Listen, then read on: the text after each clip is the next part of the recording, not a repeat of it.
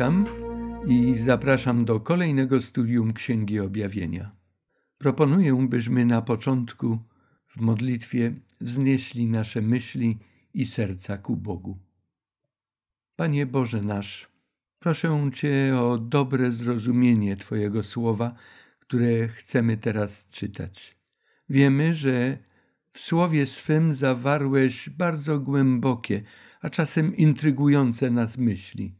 Dlatego rozpoczynając to spotkanie, proszę o szczególną bliskość Ducha Twego Świętego, abyśmy czytane teksty mogli właściwie rozumieć i poznać lepiej w nich Ciebie, Twoje działanie. Proszę o to w imieniu naszego Zbawiciela, Jezusa Chrystusa. Amen. Dzisiaj będziemy chcieli dowiedzieć się czegoś więcej na temat dwóch zagadkowych postaci występujących w jedenastym rozdziale Apokalipsy. Postaci te zostały określone mianem dwóch świadków. Czasami czytając Pismo Święte, mam takie wrażenie, że im więcej zdajemy się zebrać już informacji na dany temat, który nas interesuje, to tym trudniej jest nam zrozumieć do końca i określić, z czym albo z kim mamy do czynienia w tym badanym tekście. Mam na myśli również i tekst, który za chwilę chcemy przeczytać. Rozważaniu naszemu nadałem tytuł Tożsamość dwóch świadków. Na ich temat Dużo informacji możemy znaleźć czytając od trzeciego do szóstego wiersza tego jedenastego rozdziału Apokalipsy. I dam dwóm świadkom moim moc i będą odziani w wory prorokowali przez 1260 dni. Oni to są dwoma drzewami oliwnymi i dwoma świecznikami, które stoją przed Panem Ziemi a jeżeli ktoś chce im wyrządzić szkodę, ogień bucha z ich ust i pożera ich wrogów. Tak musi zginąć każdy, kto by chciał im wyrządzić szkodę. Oni mają moc zamknąć niebiosa, aby nie padał deszcz za dni ich prorokowania. Mają też moc nad wodami, aby je zamieniać w krew i dotknąć ziemię wszelką plagą, ilekroć zechcą. Po przeczytaniu takiego fragmentu jak ten, i konkretnie tego też, rodzi się podstawowe pytanie: kim są ci dwaj opisani tutaj i w taki sposób zaprezentowani świadkowie? Odpowiedź na nie może nie być aż tak łatwa i prosta, jak się nam to na początku wydaje. Rozumiemy cały tekst, każde słowo, ale co to oznacza? Kto może posiadać taką charakterystykę? A czytamy, że dwaj świadkowie, o których mowa, taką charakterystykę mają. Co zawiera ten dziwny opis i co to wszystko oznacza? O co w tym wszystkim chodzi? Tu chciałbym przypomnieć, bo już kiedyś o tym mówiliśmy, o pewnej charakterystyce tekstu Apokalipsy. Niektórzy nazywają ją dynamiką strukturalną apokalipsy. Na czym to polega? Wprowadzając jakiś nowy obraz, postać, zwierzę, wydarzenie, zjawisko, w apokalipsie najpierw następuje opis identyfikujący ten nowy podmiot w oparciu o cechy ogólnie rozpoznawalne przez czytelnika Apokalipsy i kojarzone z kimś działającym już wcześniej. Jest to jak gdyby przedstawienie tej nowej postaci, czy tych nowych postaci, jakimi są dwaj świadkowie. Odwołam się tutaj do dwóch przykładów z tekstów biblijnych. W pierwszym rozdziale mamy przedstawienie Jezusa Chrystusa. Wszystko, co o nim zostało tam napisane, to jak Jan go oglądał w widzeniu, nie pozostawia śladu wątpliwości, że chodzi tutaj o Jezusa Chrystusa. W trzynastym rozdziale przedstawione jest zwierzę z morza i w pierwszych siedmiu tekstach jest o nich tak dużo powiedziane, że ten, który zna chociaż trochę Pismo Święte, a szczególnie Apokalipsę Starego Testamentu, Księgę Daniela, nie będzie miał wątpliwości, o kogo chodzi. Te wstępne opisy i określenia danej postaci pomagają w oparciu o wcześniejsze, znane nam fakty, dość dokładnie ustalić jej tożsamość. W ten sposób, zanim zobaczymy dany podmiot w jego głównym i aktualnym działaniu, to już od samego początku możemy przypuszczać, o kogo lub o co w tym chodzi. Z bardzo podobną sytuacją mamy do czynienia tutaj w jedenastym rozdziale Księgi Apokalipsy. Tutaj po identyfikacji dwóch świadków, jedenasty rozdział, wiersze trzeci do szóstego, w kolejnych tekstach spotykamy się z nawiązaniem do ich wcześniejszych działań, jeszcze w okresie, kiedy wypełniały się proroctwa przekazane, pozostawione nam przez proroka Daniela w tej apokalipsie Starego Testamentu. Lecz to będzie przedmiotem naszego rozważania na kolejnym już spotkaniu, nie dzisiaj. Dzisiaj chcemy zająć się charakterystyką tych dwóch świadków. W wierszu trzecim czytamy: Dam dwom moim świadkom moc i będą odziani w wory, prorokowali przez 1260 dni. Proszę zwrócić uwagę na te pogrubione nieco w druku i podkreślone miejsca w tekście biblijnym. Nimi chcemy się zajmować. I dam. Kto mówi? Kto da tym świadkom taką moc? Gdy porównamy tę wypowiedź z tekstami, któreśmy już rozważali w dziesiątym rozdziale, wiersz czwarty, ósmy i jedenasty. Tam też spotykamy się z głosem z nieba. A więc to nie jest głos anioła, tylko głos tam od tronu Bożego. E, chciałem też przypomnieć, że dziesiąty i jedenasty rozdział do wiersza trzynastego stanowią jedną wizję. Moc stojąca za tymi świadkami, za ich działaniem, to moc boska, to potęga i autorytet samego Boga. Przypomnijmy sobie, gdy Jezus Chrystus po swoim zmartwychwstaniu e, dawał swoim uczniom apostołom i naśladowcom polecenie, aby głosili Ewangelię. Pamiętacie, jak się rozpoczęła ta sentencja Jezusa Chrystusa? Dana mi jest wszelka moc na niebie i na ziemi. Dlatego idźcie i każcie Ewangelię, a ja jestem z wami po wszystkie dni, aż do skończenia świata. A więc te myśli chciałem podkreślić z tego 28 rozdziału Ewangelii Mateusza, od tekstu 18 do 20. Chrystus, który zwyciężył na krzyżu, którego ofiara została przyjęta przez niebo, przez Boga, otrzymał wszelką moc i on teraz na mocy posiadania tej władzy, tej potęgi wysyła swoich aniołów. A więc ten głos z nieba to głos samego Ojca, czy głos Jezusa Chrystusa? Tak czy inaczej, i za tym głosem kryje się autorytet i moc boska.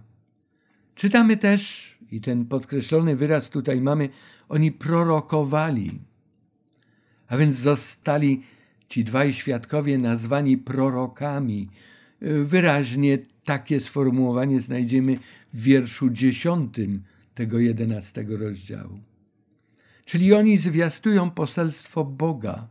Poselstwo, z którym już myśmy się zetknęli podczas naszych poprzednich spotkań. Oni także mają wypełnić to polecenie.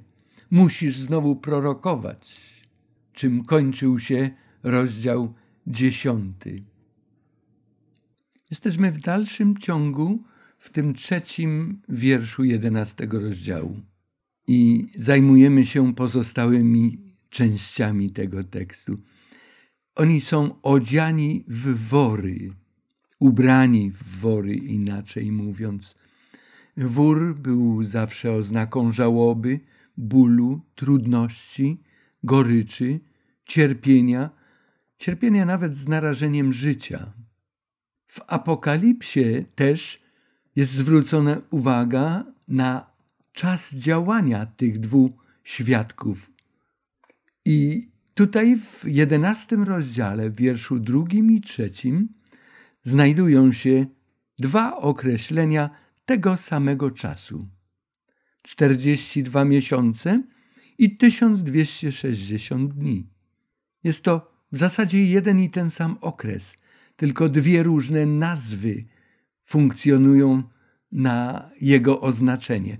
42 miesiące, w proroctwie miesiąc ma 30 dni, to jest dokładnie 1260 dni, a 1260 dni podzielone przez 30 daje nam 42 miesiące. I właśnie gdy chodzi o działanie wrogów Boga, i to Apokalipsa wyodrębnia, ten okres będzie nazywał się 42 miesiące.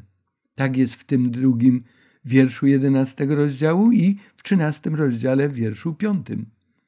Tutaj, jeżeli chodzi o 1260 dni, co występuje w wierszu trzecim tego 11 rozdziału, mamy go na ekranie, a także w 12 rozdziale i wierszu szóstym, takie określenie tego czasu zawsze odnotowywane jest czy podawane jest, gdy chodzi o losy ludu Bożego, działanie ludu Bożego.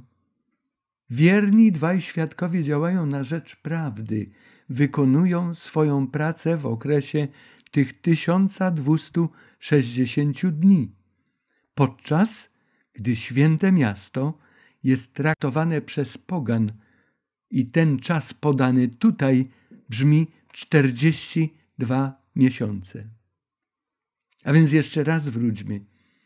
Gdy chodzi o działanie sił wrogich Bogu i Ewangelii, mamy do czynienia z określeniem 42 miesiące, a jeżeli chodzi o działanie i losy Bo Bożego ludu, to jest 1260 dni. A więc wiedząc to, już czytając tekst, możemy, chociaż to nie będzie tam stwierdzone czasem bezpośrednio, wiedzieć o co chodzi, bo inne teksty nas na to naprowadzają. Te wszystkie teksty mamy tu na ekranie. Dwaj świadkowie są wiernymi sługami Boga, którzy zwiastują ludziom poselstwo Jego miłości i Jego łaski. Podana charakterystyka dwóch świadków odwołuje się do ich działania jeszcze przed wypełnieniem się proroctw Daniela dotyczących nastania czasu końca. Skąd o tym wiemy? Skąd możemy wysnuć taki wniosek? Anioł z otwartą książeczką, o czym czytamy w dziesiątym rozdziale i wierszu szóstym, ogłosił, że po ich wypełnieniu się, czyli po wypełnieniu proroctw Daniela, proroc dotyczących okresów czasu. A wtedy mówiliśmy wyraźnie, o które proroctwa chodzi. Że już teraz czasu nie będzie, inaczej nie będzie czasu proroczego, który by wyznaczał pewne okresy, jak to było w tej otworzonej książeczce, czyli odpieczętowanej księdze Daniela. Tak więc opis z jedenastego rozdziału, wierszy od trzeciego do szóstego, dotyczy czasu tratowania świętego miasta, jeszcze w czasie wypełniania się proroctw z księgi Daniela. Te proroctwa zawarte są w siódmym, ósmym, dziewiątym, jedenastym i dwunastym tamtej starotestamentowej apokalipsy. Bo to one, te okresy czasu zapowiadały dominację mocy wrogich wobec Boga, dominację nad Jego ludem. W Apokalipsie jest to oddane słowem tratowanie świętego miasta. Do tej myśli jeszcze wrócimy krótko, nieco później. To na bazie opisu wcześniejszej działalności dwóch świadków dowiadujemy się, kim oni tak naprawdę są. Ten opis informuje nas, kim są świadkowie i jaką jeszcze rolę mają do spełnienia w czasie trąbienia szóstego anioła. Działalność dwóch świadków, którą oni mają realizować w czasie trąbienia szóstego anioła, została opisana w dalszych tekstach jedenastego rozdziału, czyli od wiersza siódmego do trzynastego. I na następnym spotkaniu te teksty będą przedmiotem naszego rozważania. Na czym opiera się ta instytucja dwóch świadków? Starotestamentowym tłem dla tej instytucji dwóch świadków jest tekst z Księgi Powtórzonego Prawa z 19 rozdziału wiersza 15. Ta instytucja została ogłoszona i zalecona do posługiwania się tymi, takimi świadkami w sądownictwie izraelskim. Niech nie występuje tylko jeden świadek przeciwko komukolwiek w sprawie wszelkiego przewinienia i grzechów, jakie tamten popełnił. Na podstawie zeznania dwóch świadków lub na podstawie zeznania trzech świadków rozstrzygnie się sprawę. A więc zanim zapadał jakiś wyrok, jakaś wiążąca decyzja, wszystko to musiało być najpierw przedłożone, zaświadczone, rozpatrzone, a zaświadczyć to musiało zgodnie przynajmniej dwóch świadków. Oto jak ważne jest świadectwo owych dwóch świadków Boga, o którym czytamy tu w jedenastym rozdziale. Ci świadkowie mają dowieść prawdziwości miłości Boga, prawdziwości i wspaniałości Jego łaski. Ich zgodne świadectwo wobec mieszkańców ziemi i całego wszechświata jest prawdziwe, wiarygodne, pewne i wiążące. Dlaczego? Bo jest oparte na ich osobistym doświadczeniu z Bogiem. Tak samo jest z przekazem Ewangelii. Jest to przecież sprawa dotycząca życia i śmierci. I to nie tylko doczesnej, biologicznej, ale wiecznej. Odrzucenie ofiary Jezusa pozostawia człowieka samego sobie, skazanego na zagładę. Przyjęcie łaski Boga niesie dar życia, życia wiecznego. Zwiastunowie Ewangelii najpierw sami poznają jej wartość. Ten smak miodu i gorycz piołunu, jak to zaświadczył również i Jan. Dlatego mogą też zaświadczyć o tym, co mówią. Oni to przeżyli z Bogiem.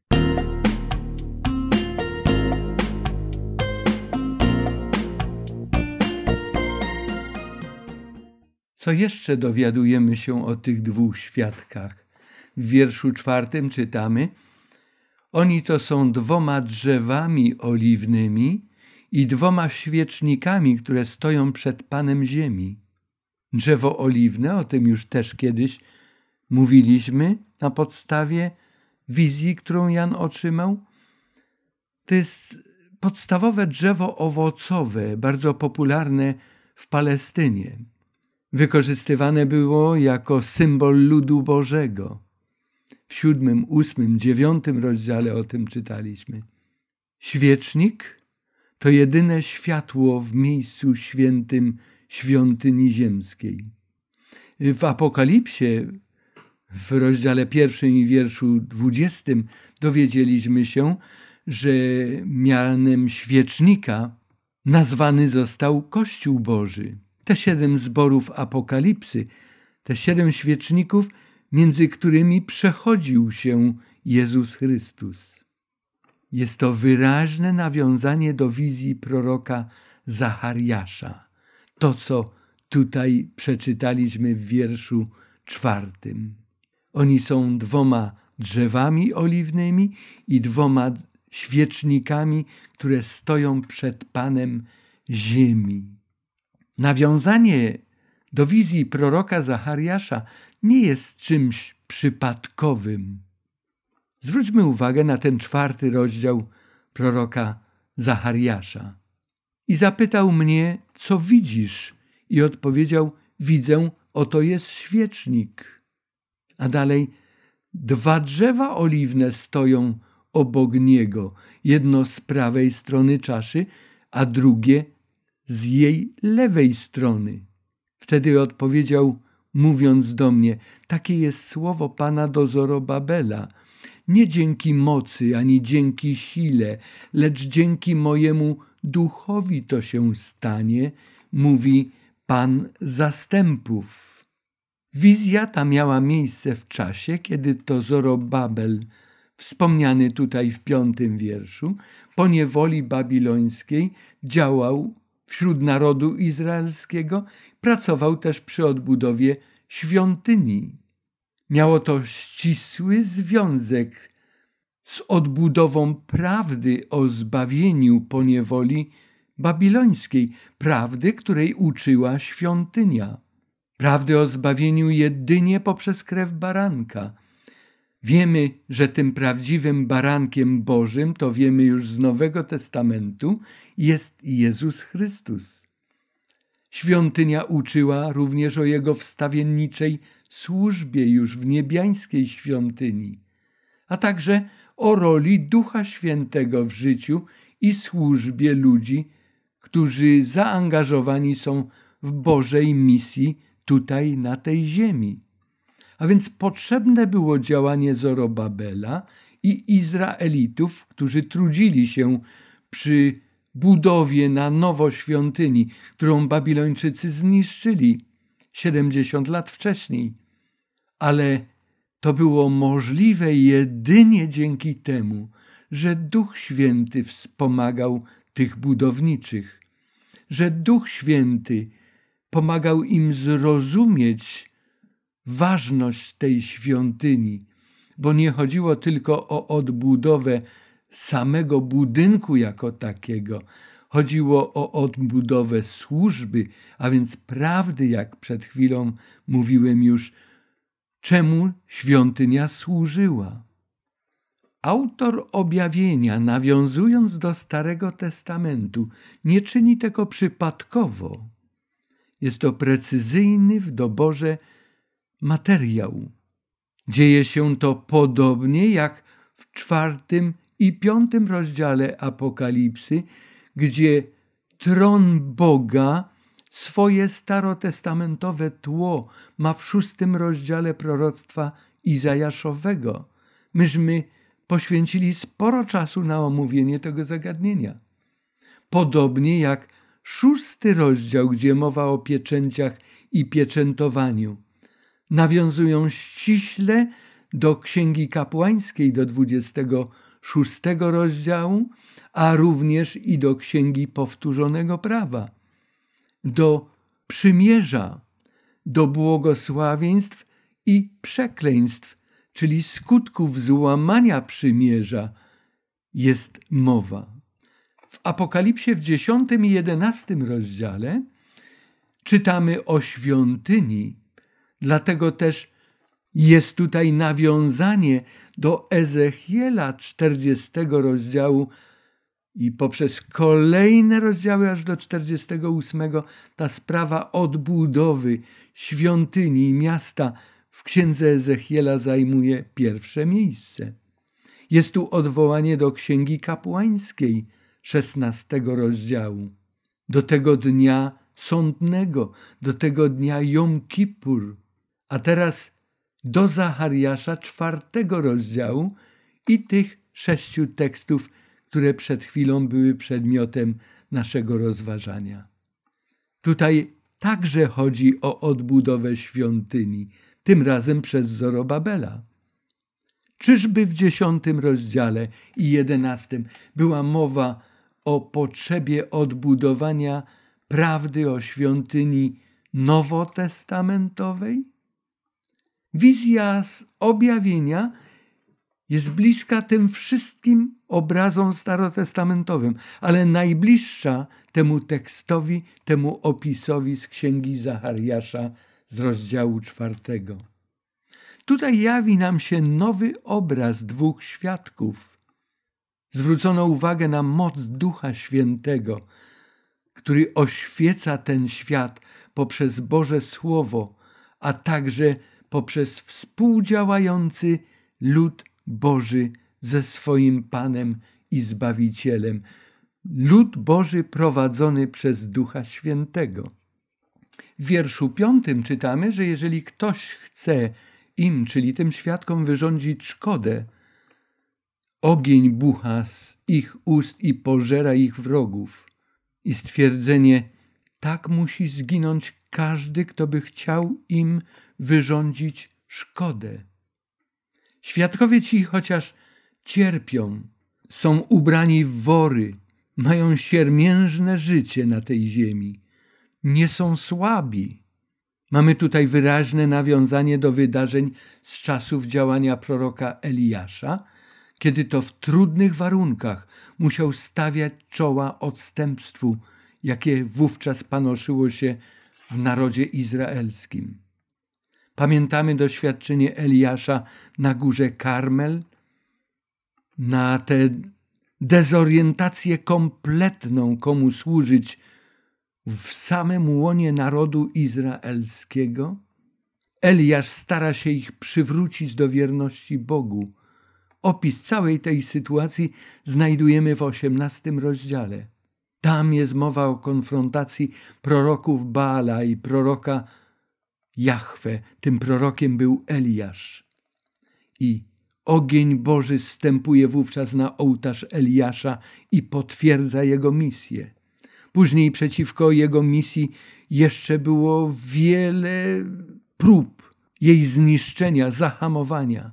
I w drugiej księdze królewskiej, w pierwszym rozdziale, czytamy, że takie ataki były dopuszczane na Eliasza, i te oddziały wrogich wojsk kończyły się zniszczeniem poprzez ogień, który zesłał na nich właśnie Eliasz.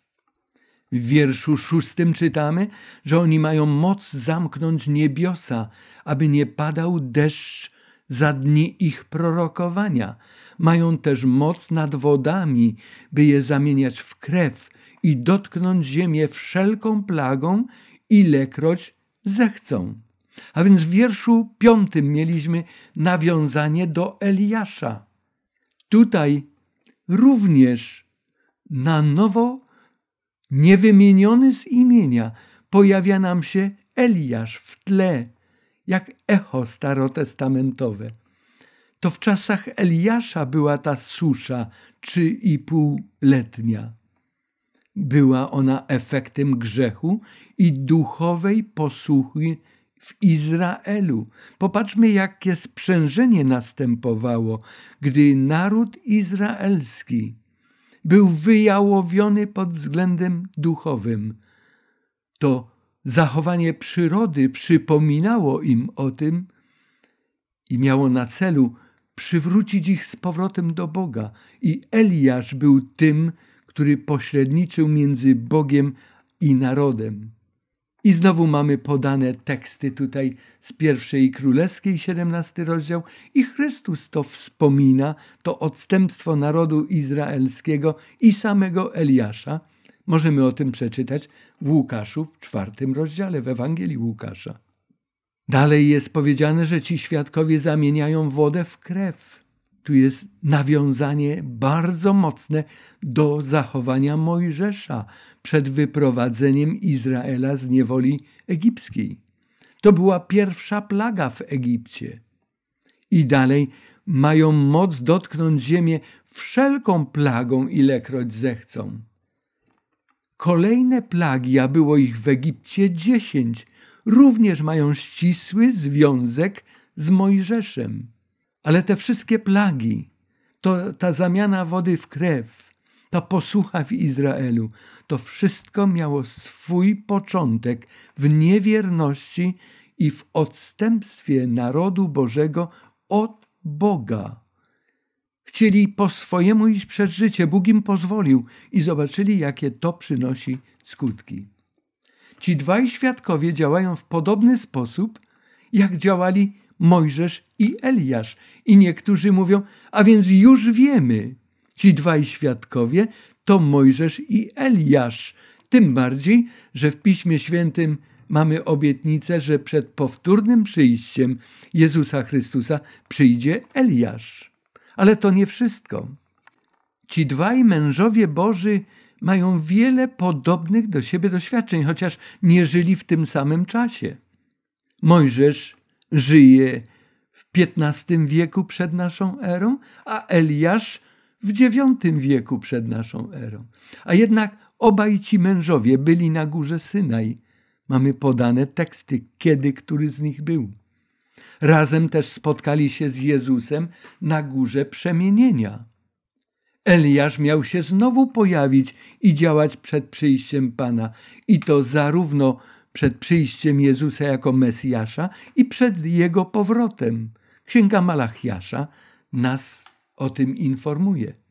Jak Eliasz i Mojżesz działali w swoich czasach, tak dwaj świadkowie działają w czasach końca historii tej ziemi.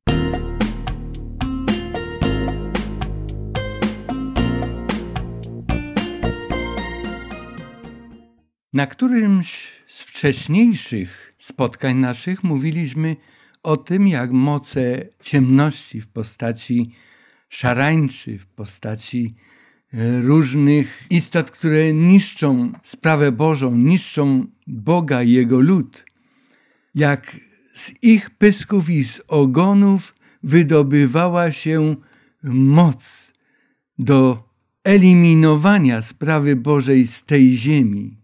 Zwróćmy uwagę na szczególną reakcję Boga na taktykę mocy ciemności. Kimkolwiek są ci dwaj świadkowie, to stanowią oni przeciwieństwo tych pysków i ogonów. Z dziewiątego rozdziału wiersza dziewiętnastego mocy sił przeciwnych Bogu, działających także w czasie końca. Na te dwa sposoby działania wroga Bóg odpowiada działaniem dwóch świadków, podobnych w zachowaniu, jak stwierdziliśmy, do Mojżesza i Eliasza.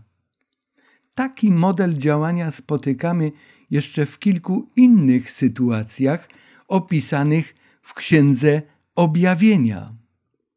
Popatrzmy, szatan wystawił tę liczbę 200 milionów swoich wojowników, swoich idealistów, aby zniszczyć chrześcijaństwo. Bóg przeciwstawia im 144 tysiące wiernych swoich sług, zapieczętowanych. Diabeł stara się upodobnić do Boga w swojej walce nawet.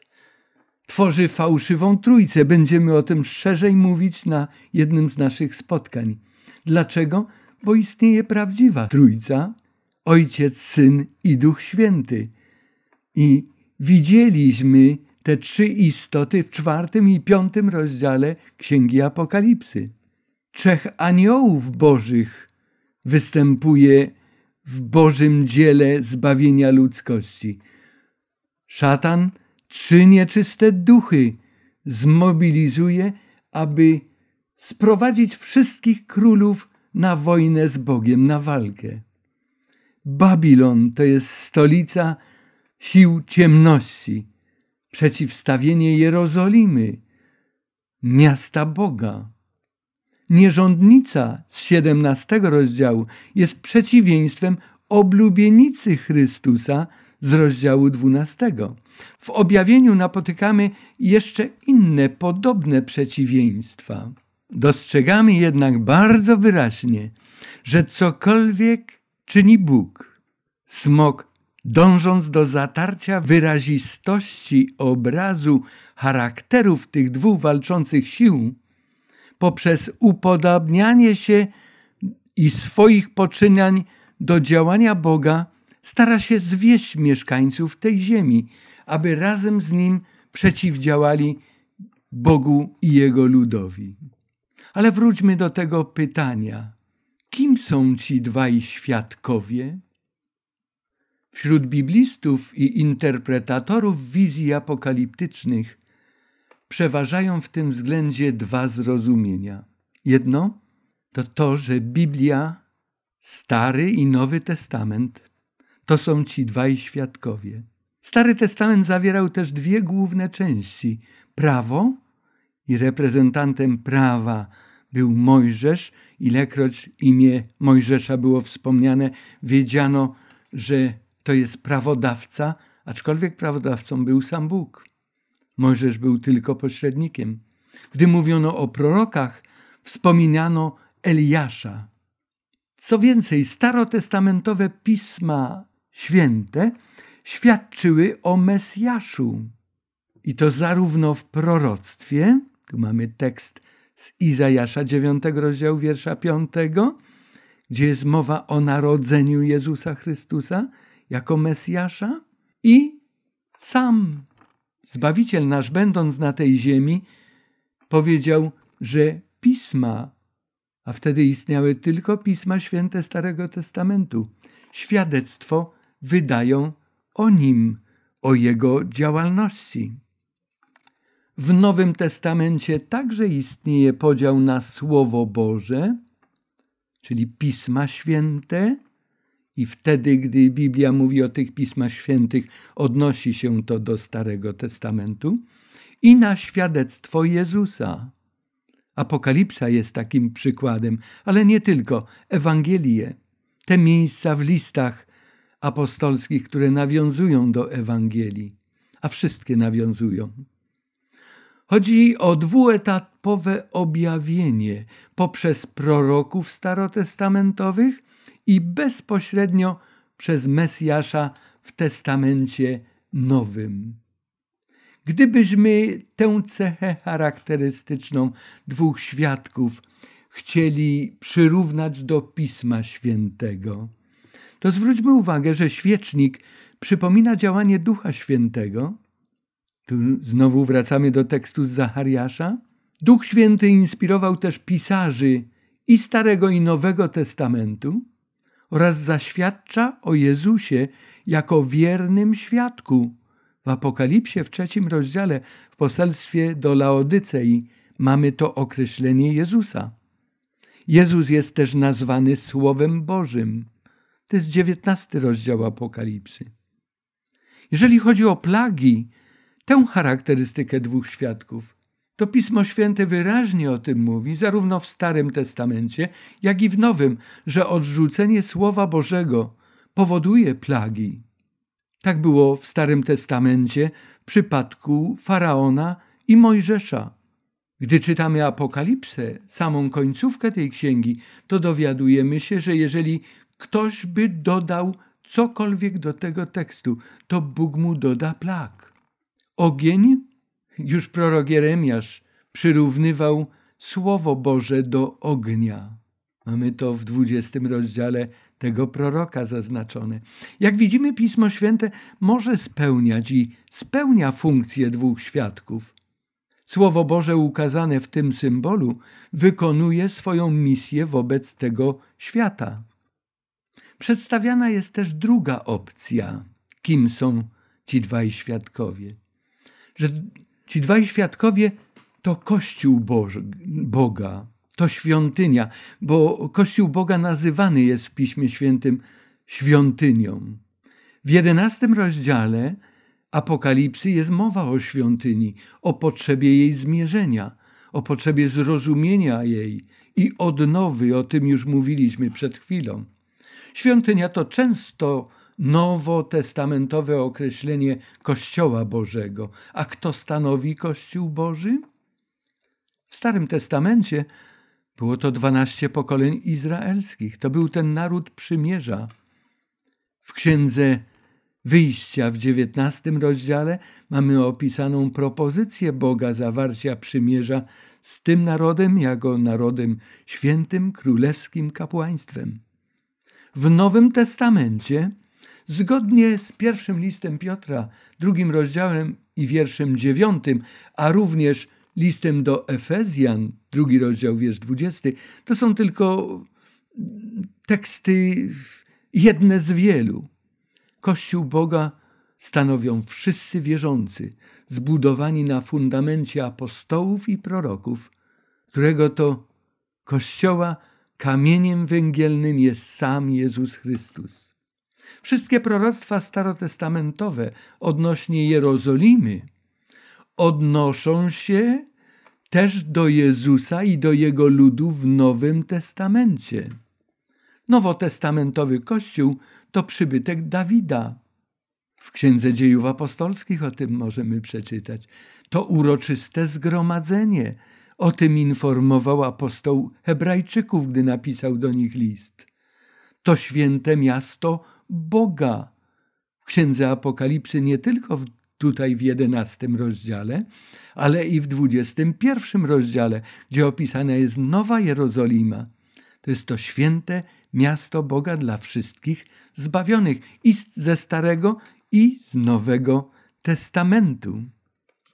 Jak zauważymy, te spojrzenia jak gdyby różnią się między sobą, ale jedno i drugie ma bardzo silne argumenty na poparcie tego, że dwaj świadkowie to Pismo Święte i Kościół Boży, któremu Bóg przekazał to Pismo Święte, aby korzystał z błogosławieństw i wszedł w doświadczenie z Bogiem, a następnie zwiastował jako wierny świadek prawdziwość przesłania Boga, które skierował do całej ludzkości. Przyjrzyjmy się jeszcze dodatkowo tym argumentacjom. Gdy poganie w Starym Testamencie chcieli poznać prawdziwego Boga, szli do Jerozolimy. I tu mamy wskazane teksty z Izajasza, Jeremiasza, Micheasza, Zachariasza. Podobnie w Nowym Testamencie ludzie, którzy się nawracają, kierowani są do zboru, do Bożego ludu, by tam poznawać Jego wolę. Przykładem jest Saul Starsu, Szaweł, który się nawraca. Spotyka się z Chrystusem i gdy pyta Zbawiciela, to co ja mam robić teraz? Chrystus mówi, idź do Damaszku, tam ci powiedzą, co masz czynić. Chociaż w Nowym Testamencie duży nacisk Chrystus położył na to, że Jego lud w Nowym Testamencie pójdzie do świata z Ewangelią. Nie będzie czekał, aż świat do nich przyjdzie, ale jako dowód, że Bóg ma zaufanie do swojego Kościoła w Nowym Testamencie, takie samo jak miał w Starym Testamencie, możemy przywołać te teksty. Jedno jest ważne, że pierwszym zadaniem ludu Bożego, zarówno w Starym, jak i w Nowym Testamencie, jest świadczenie o Bogu. Jest wydawanie świadectwa, kim prawdziwie jest Bóg, czym jest Ewangelia. Kościół w Nowym Testamencie to świadek Jezusa Chrystusa. Drzewo oliwne jest symbolem ludu Bożego.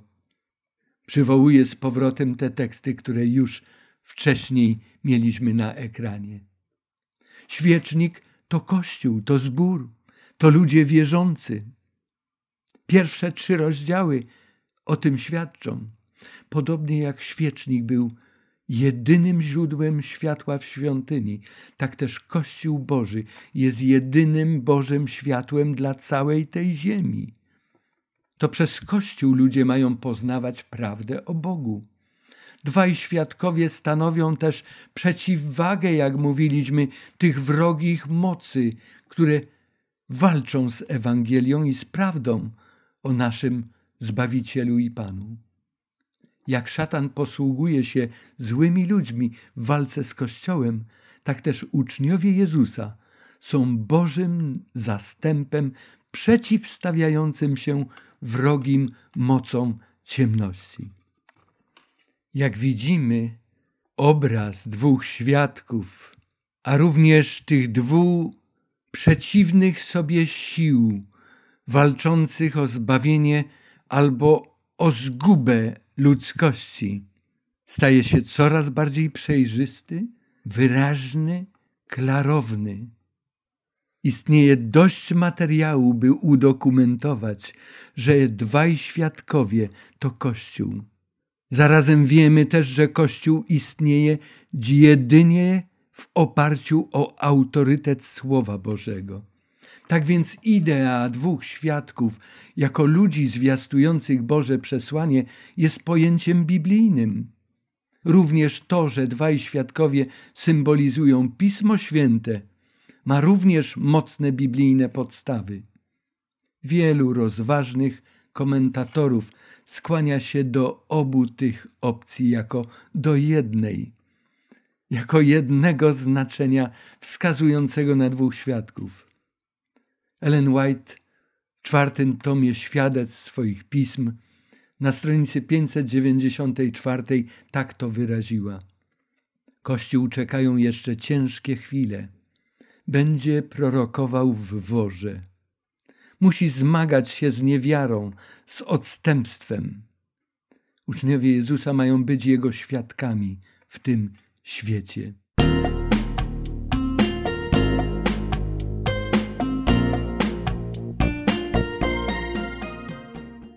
Bóg obdarował każdego człowieka wolną wolą i posługując się nią, możemy przyjąć jakąkolwiek postawę, podjąć jakąkolwiek decyzję za lub przeciwko Bogu.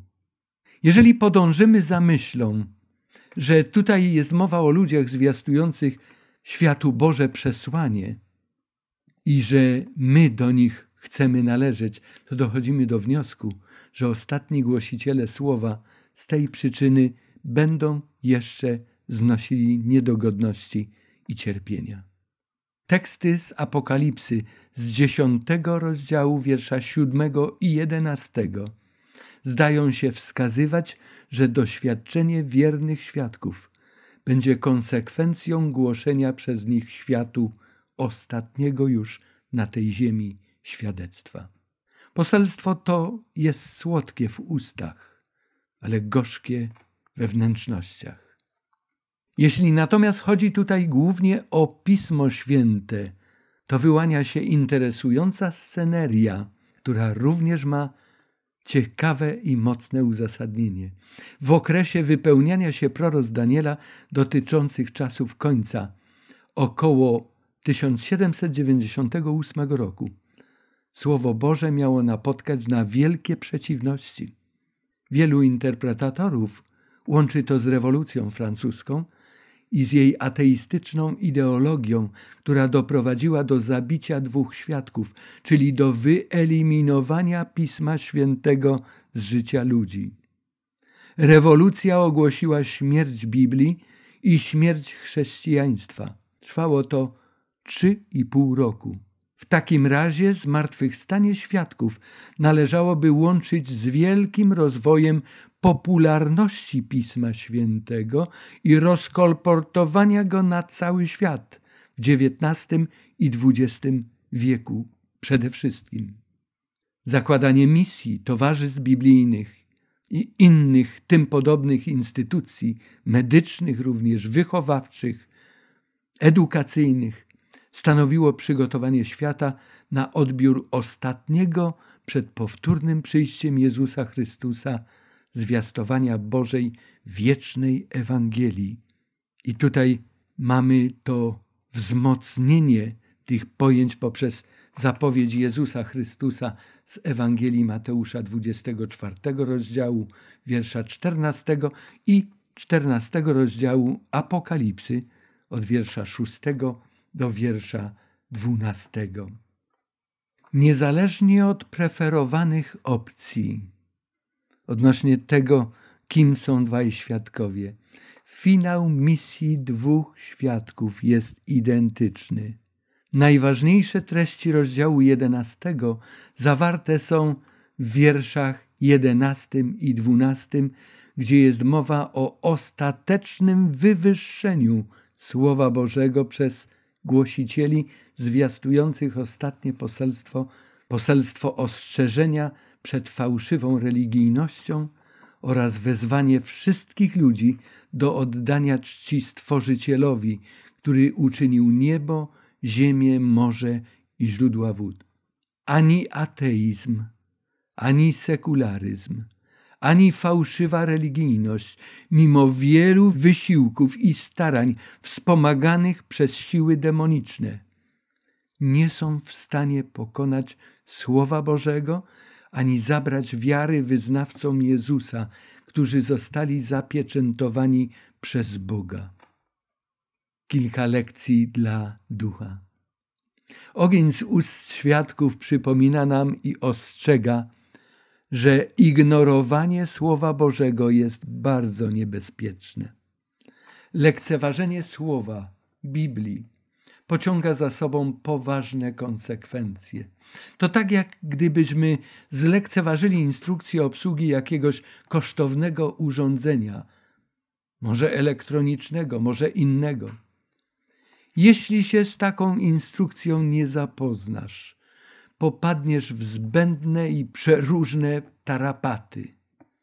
Stracisz przy tym znacznie więcej zdrowia, sił oraz czasu niż na zapoznanie się z boską instrukcją, z Biblią, która mówi, jak przetrwać czas końca, jak być gotowym na spotkanie z Jezusem Chrystusem. Biblia mówi o tym, jak zostaliśmy stworzeni, a także o tym, co, kiedy i jak najlepiej nam służy. Lekceważenie tej wiedzy przysparza sporo niepotrzebnych kłopotów, trosk, bólu, rozgoryczeń i nieszczęść. I to, czego nie chciałbym zapomnieć w moim życiu. I chciałbym, aby każdy, kto idzie za Chrystusem, o tym pamiętał. Kościół Boży ma na tej ziemi jeszcze do spełnienia dwa główne zadania. Jakie to są? Prowadzenie życia zgodnego z przykładem Jezusa i drugie opowiadanie słowem o tym, czego Jezus dokonał dla nas. Inaczej, być takim jak On i mówić o Nim. Oto cała misja Kościoła.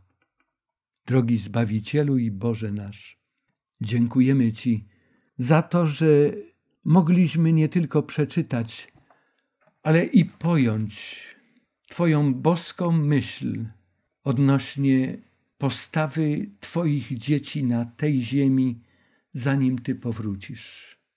Dziękujemy Ci za ten obraz dwóch świadków, którzy jak kiedyś Eliasz, jak Mojżesz, jak inni Twoi przedstawiciele, zaufali Twojemu słowu, pozwolili mu działać w swoim życiu, a następnie z tym, co się z nami dzieje, posyłasz nas do ludzi, którzy nas otaczają, abyśmy wydali wierne świadectwo tego, kim Ty naprawdę jesteś, kim jesteś dla mnie, dla nas. Bo świadek to ten, co coś przeżył, coś widział, coś słyszał, czegoś dotknął. Boże, dopomóż, aby to świadectwo pomogło nam wielu ludzi doprowadzić do sytuacji, kiedy zastanowią się, a Duch Święty, działając na ich serca, przekona ich o tym, że ich miłujesz, że pragniesz zbawić każdego grzesznika. Dziękujemy Ci za tę wielką Twoją miłość i dziękujemy za to, że miłość Twoja przezwycięży wszelkie wrogie napaści. Dziękujemy za Twoją ochronę i za błogosławieństwa, których już dostrzegamy w naszym życiu, które dla nas są olbrzymim skarbem. Za to Cię wielbimy w imieniu Jezusa Chrystusa Pana naszego. Każdy ma wolną wolę, ale Duch Twój Święty działa I drogi słuchaczu, gdy słyszysz ten głos w sercu swoim, nie zatwardzaj tego serca. To jest głos przyjaciela, który Cię miłuje i pragnie Twojego zbawienia i Twojego szczęścia już na tej ziemi, a kiedyś w wieczności. Ojcze, niech Ci będzie chwała i cześć za wszystko, co czyniłeś, czynisz i czynić nie przestaniesz w naszym życiu. Amen. Dziękuję za udział w dzisiejszym spotkaniu, a kolejne spotkanie będzie miało tytuł Śmierć i zmartwychwstanie dwóch świadków.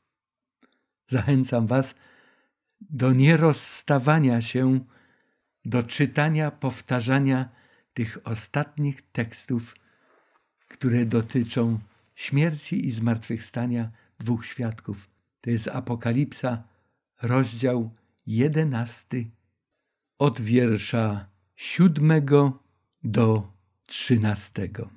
Niech Bóg ma nas wszystkich w swojej opiece.